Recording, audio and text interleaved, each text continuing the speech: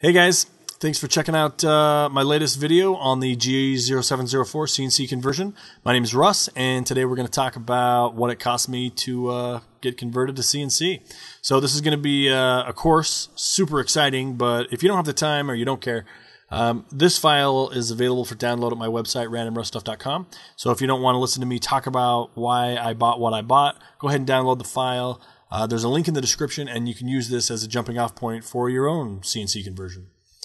Uh, as a disclaimer, um, this is not everything that you may need to do the CNC conversion. This was simply everything I needed.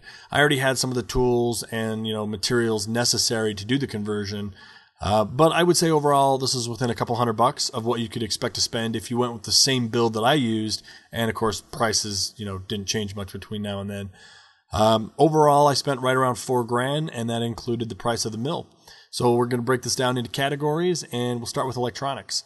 I bought everything from Keling. Uh, they're they're now going by AutomationTechnologiesInc.com, and this kit uh, came as a suggested group from uh, Hoss's G0704.com. He lists several different uh, kits that you could go with for this mill specifically, and I kind of chose one from the higher end. I didn't want to get smaller motors and then ended up being disappointed and having to spend more money on, you know, bigger motors. So I just went with kind of the bigger stuff in the beginning. And it does cost more uh, because then you've got to buy, you know, bigger drivers and you need a bigger power supply. And uh, but there's money to be saved here. You don't necessarily need to go with what I what I chose. Um, as far as a computer, I budgeted a couple hundred dollars here, but I actually got one for free, so I'm not sure why I wrote 23009. Um, a buddy of mine gave me an old Pentium 2 that he had bought 10 years ago, and uh, it's been working really good. So just find some cheap computer off the classifieds, and uh, you'll be fine.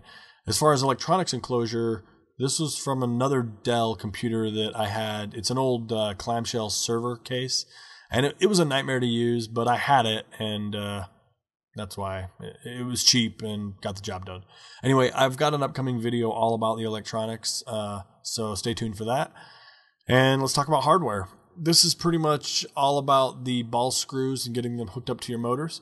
Uh, I went with the C7s from Linear Motion Bearings eBay store. You could save some money here and go with some Roton screws, but I was afraid, you know, getting the Rotons and then always wondering about the C7s. So again, I just sprung for the little bit nicer screws up front. Everything else in this list is all about hooking those screws up to the motors, and you really pretty much need all of that. So I'm not sure there's a lot of money to be saved um, for the rest of that category.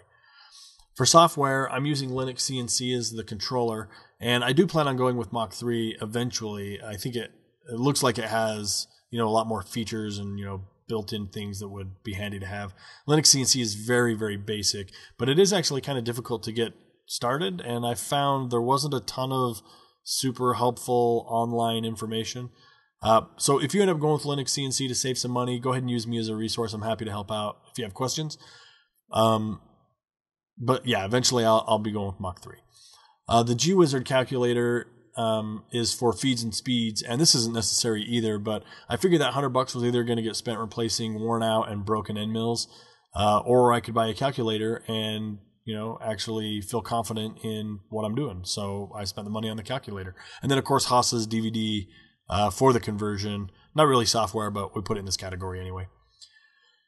Uh, on the tooling list, this is all about. Um, it, it's kind of just a common sense approach of what I thought I was going to need. Uh, the Glacern 5 inch vise is kind of a more expensive 5 inch vise. You could go with like the Shars 5 inch. And if you take a look at my Glacern uh, video, um, in the comment section, a lot of people mention the Shars Vice, and people are having great luck with it. So you could save some money there. Clamp kit, parallels, indicators, you're pretty much going to need that stuff. The face mill is not absolutely necessary, but it is handy. And then all of the collets, end mills, and holders, you could probably pare that down quite a bit. Honestly, a one quarter inch end mill probably would make all the parts you need for the conversion. Um, I did need the boring bar setup, and that that I actually use that quite a bit, so that's kind of necessary. And then in for my application, I did need a bunch of taps and drill bits and stuff. Uh, like that granite surface plate, that's not really necessary at all. And uh, yeah, definitely some money to be saved there. Um, as far as this column over on the right, this is kind of a journal of my spending. Um, when I was doing all my research, I noticed on the CNC zone that a lot of guys have these great write ups and they would take months to get their conversion done. And I thought it can't really take that long. So I decided to uh, track mine, and sure enough, it did take several months. So it's actually a bit of a nightmare. it was a lot harder and took a lot longer than I thought it was going to uh, to be. But in the end, I'm very very happy with it, and uh, yeah, it's been great so far. I I, lo- I, like everything about this conversion. So anyway, again, uh, I guess that pretty much sums it up. It is like three in the morning, and I am super tired, so I'm going to bed. Thanks for watching, guys. If you have questions and comments, post them below. Don't forget to subscribe, and uh, we'll see you in one of the next videos. I got several more uh, upcoming videos just going over the details of the CNC conversion, so stay tuned.